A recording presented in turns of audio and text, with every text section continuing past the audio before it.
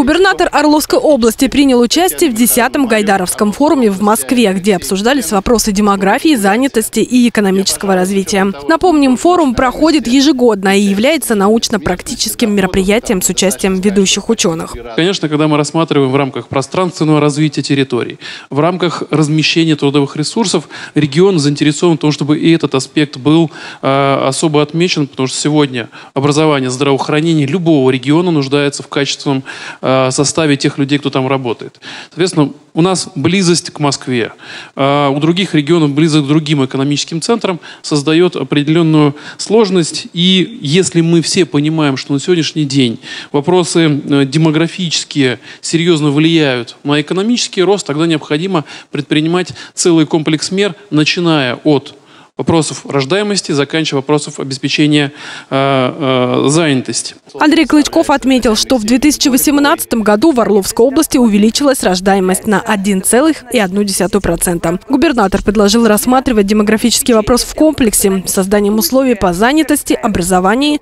экономическому развитию. Статистика последних пяти лет показывает, что на Орловщине на 23% увеличилось число многодетных семей. Регион делает все, чтобы дети были обеспечены местами в дошкольных учреждениях. Таких в прошлом году появилось на 7 тысяч больше. Данные привел Андрей Клычков. Обеспечение э, роста заработной платы.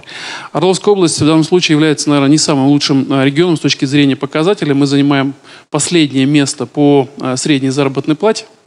И в этой связи сейчас э, те региональные механизмы, которые нам предоставлены, это и майские указы, и национальные проекты, направлены на то, чтобы максимально широко э, создать условия экономического роста. В рамках 10-го юбилейного Гайдаровского форума прошло больше сотни мероприятий, от секций до дискуссионных площадок. Традиционно в работе форума принимали участие российские и зарубежные эксперты, общественные политические деятели, журналисты и предприниматели, члены правительства России и руководители регионов. А те программы региональные, которые сегодня реализуются. По моей инициативе в прошлом году была запущена программа «Молодая семья», которая включает в себя в 6 госпрограмм на ближайшие три года.